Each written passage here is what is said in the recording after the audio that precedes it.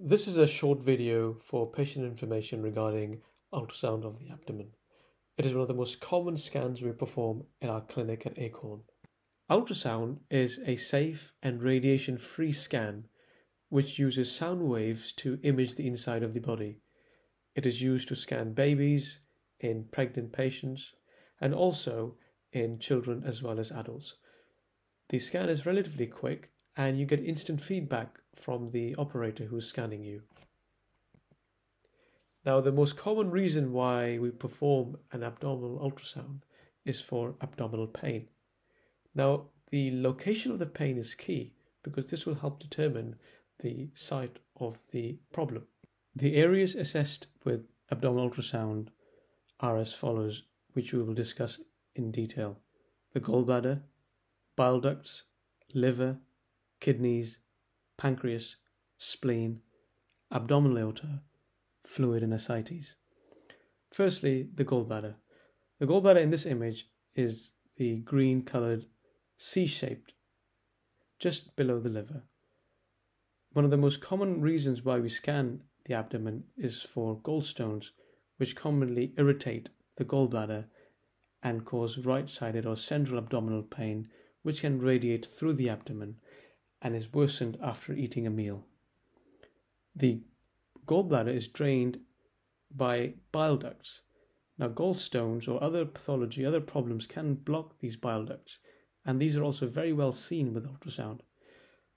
The bile ducts and gallbladder assessment is one of the best ways of doing it is through ultrasound. Problems with the liver, any liver lesions, any liver masses, or cirrhosis or other common problems with the liver are well assessed with ultrasound. The kidneys on both sides, which are sort of the bean shaped images on this diagram, are also assessed well with ultrasound.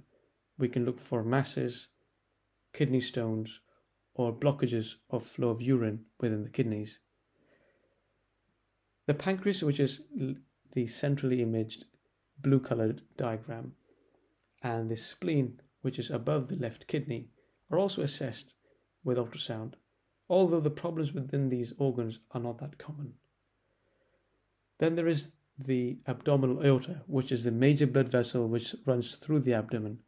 It starts from the heart, travels through the chest, through the abdomen, and then splits into branches which run down the leg.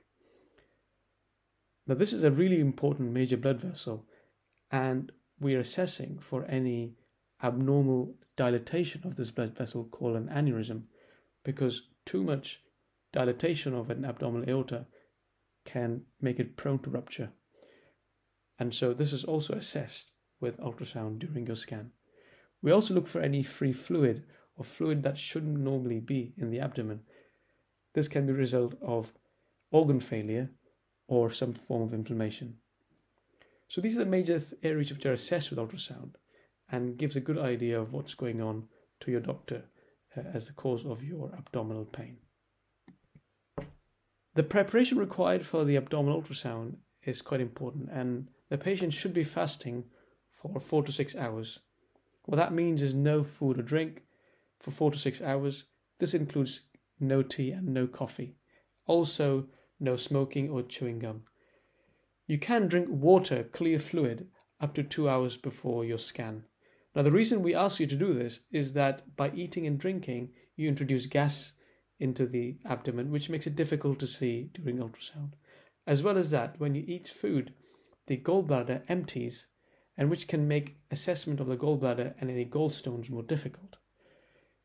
If, on the other hand, you are diabetic or have issues with low blood sugar, please speak to your GP before commencing any fasting. We hope you found this video useful. For further information, please visit our website acornultrasound.co.uk or contact our clinic. Thank you very much.